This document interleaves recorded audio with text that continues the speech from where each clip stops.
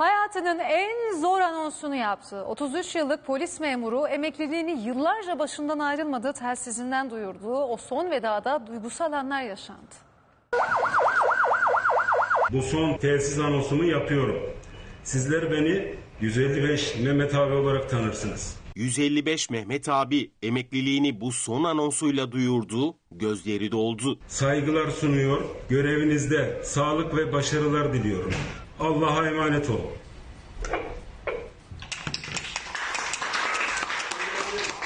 Zor anons ettim. Zonguldak İl Emniyet Müdürlüğü'nde görev yapan Mehmet Sercan, 33 yıllık meslek hayatının 28 yılını telsizin başında geçirdi. 28 yıldır 155 ve haber merkezi olarak çalışmaktayım. Benim için en zor anonslardan biri buydu. Bu son telsiz anonsumu yapıyorum. Sesi titredi, gözleri doldu. Meslek hayatımı bugün itibariyle yaş haddinden emekliye ayrılarak tamamlıyorum.